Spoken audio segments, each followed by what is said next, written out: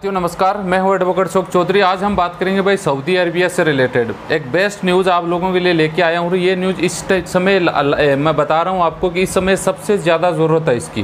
क्योंकि बहुत सारे लोग निकल रहे हैं, कंपनियाँ निकाल रही हैं जॉब छोड़ के आ रहे हैं, अपने देश आ रहे हैं, चाहे वो कोई भी कंट्री का हो एशिया कंट्री का हो, दूसरी कंट्री का हो। कुछ नियम और रेगुलेशन होते हैं वर्करों के लिए, जो पहले से फाइनल होते हैं वो। लेकिन बहुत सारे लोगों को पता होता है, कुछ को नहीं पता होता। और पता होता है तो भी वो कुछ नहीं कर सकते। तो मैं बात करूँगा बोनस के बारे बारे में। जी हाँ सर, आगे बढ़ने से पहले अगर आप वीडियो पहली बार देख रहे हैं तो चैनल सब्सक्राइब करके बेलाइकन ज़रूर दबा दें, ताकि हर रोज आपको विदेश से रिलेटेड सही इन्फॉर्मेशन यहाँ पे मिलती रहे। तो भाई, पहले बात कर लेते हैं कोरोना की। तो सऊदी इंडिया के पीछे पीछे भाग रहा है।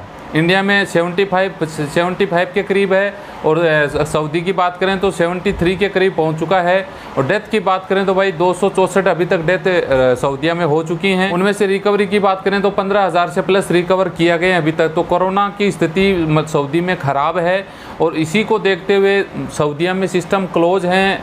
इनकम सऊदी गवर्नमेंट की नहीं हो रही है क्योंकि सऊदी या गलत मान लीजिए गलत कंट्री लगभग तेल पे डिपेंड है। ठीक है, तेल इनका नहीं बिक रहा है, इतना डाउन चला गया कि आज तक वर्ल्ड आज तक कभी गया ही नहीं। तो गवर्नमेंट ने घाटे से उभारने के लिए सिस्टम को मैनेज करने के लिए, पैसों की इनकम करने के लिए 15 परसेंट टैक्स बढ़ा दिया है। जी हाँ साथियों, सऊदिया ने 15 प्रतिशत टैक्स बढ़ा दिया है और ये टैक्स की मार आपके ऊपर भी पड़ेगी, क्योंकि जो चीज़ अभी सौ रुपये में मिल रही थी, वो फिर आपको देख लीजिए कितने में मिलेगी, एक सौ में मिलेगी, क्योंकि टैक्स बढ़ेगा। तो ये गवर्नमेंट की तरफ़ से सही कदम उठाया गया अर्थव्यवस्था को संतुलन रखने के लिए, लेकिन हमको ये लगेगा कि ये गलत हो गया। लेकिन जिनका स्वार्थ होता है, उनको सही लगता है। आगे मैं इंपॉर्टेंट न्यूज़ देने जा रहा हूँ। साथियों कि मान लीजिए, या तो आप कंपनी बोनस से रिलेटेड बात करते हैं कि कंपनी आप छोड़ के जा रहे हैं, या कंपनी आपको निकाल रही है, या आप अपना सेवा कार्य पूरा करके जा रहे हैं, दो साल का अग्रीमेंट होता है। अगर इन तीन स्थितियों में अगर आपने दो साल का कम से कम काम पूरा कर चुके हैं तो आप से आप बोनस के हकदार होते हो। सेवा लाभ जिसको बोलते हैं, उसके हकदार होते हो। अब आपने सुना होगा यार कि दो साल से आते हो तो कंपनी आपको दो महीने की तनख्वाह देगी, टिकट देगी। बारह महीने से आते हो तो एक महीने की तनख्वाह, एक एक तरफ़ की टिकट देती है तो वो बोनस होता है आपका। और कुछ कंपनियाँ, जैसे आप काम करते हो तो सैलरी से कुछ डिडक्ट करती हैं, कुछ अपनी तरफ़ से मिला के होता है। ठीक है? वो आपका बोनस सेफ़ रहता है कंपनियों में। बहुत सारे 80 परसेंट लोगों को बोनस नहीं मिलता, ये मुझे पता है। क्योंकि लगभग कंपनियों में लगभग 60 से 70 परसेंट लोग दो साल से ज़्यादा टिकते नहीं हैं और वो या तो आते हैं तो वापस नहीं जाते या कंपनी निकाल देती है, कुछ भी रीज़न हो जाता है, उसका बोनस वहीं पे रुक जाता है। तो मैं कुछ सलेह बताता हूँ आपको कि बोनस आपको कितनी कैटेगरी पे क्या क्या मिलने वाला है। मान लीजिए साथियों कि आपका दो साल का कंपनी में अग्रीमेंट था, दो साल के बाद में आप कंपनी चेंज कर रहे हैं।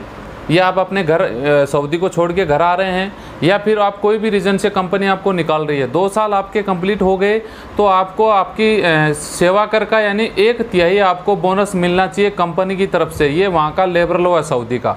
तो आप देख लीजिए भाई, अगर आप दो साल पूरा होके आ रहे हैं, मैं एक लिंक भी नीचे छोड़ दूँगा वो उस लिंक को आप भर के और सबमिट कर सकते हैं ताकि आपका बोनस आपको मिले। ये सरकार के सख्त निर्देश हैं कंपनियों को कि बोनस वर्कर को देना पड़ेगा इस माहौल में। पहले भी था, लेकिन ये तो माहौल ज़्यादा ख़राब है तो अब देना पड़ेगा।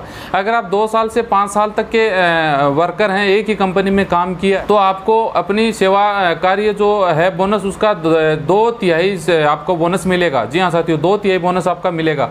अगर पाँच साल से दस साल तक आपने एक ही कंपनी में काम कर लिया तो सौ प्रतिशत आपका जो सेवा बोनस है वो पूरा का पूरा मिलेगा, जो कंपनियाँ अपनी तरफ़ से डिडक्ट करती हैं, कुछ अपनी तरफ़ से मिलाती हैं। मान लीजिए कंपनी में आपको लाख रुपये हैं तो पूरा का पूरा आपको कंपनी देगी, ये पूरी कंपनी की ज़िम्मेदारी होती है।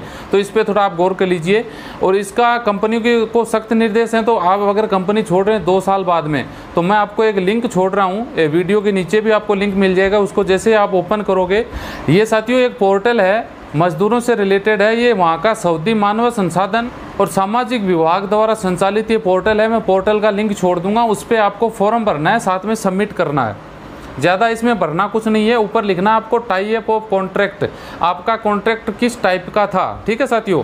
एंड ऑफ़ सर्विस रीजन आप किस रीज़न से काम छोड़ के आए हो, वो रीज़न लिखना है।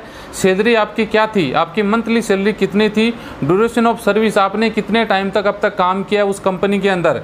ठीक है साथियों? नंबर ऑफ़ मंथ ये आपको नंबर ऑफ़ मंथ आपको कितने महीने हैं, ये ऑप्शनल है, भरे तो ठीक है, वरना कोई बात नहीं। नंबर ऑफ़ डे कितने दिन काम किया कोई ज़रूरी नहीं है। ये उस पर सबमिट कर देना है और उससे वहाँ पे कांटेक्ट करें। अगर आपको तनख्वाह कंपनी नहीं दे रही तो आपका आपकी जो बोनस है वो आपको ज़रूर मिल जाएगा साथियों। आज के लिए बस इतना ही। वीडियो अच्छा लगे लाइक शेयर करने के साथ चैनल ज़रूर सब्सक्राइब कर लें। साथ में बेलाइकन ज़रूर दबा दें ताकि हर रोज़ आपको विदेश से रिलेटेड से इन्फॉर्मेशन मिलती रहे। जय हिंद, वंदे मातरम।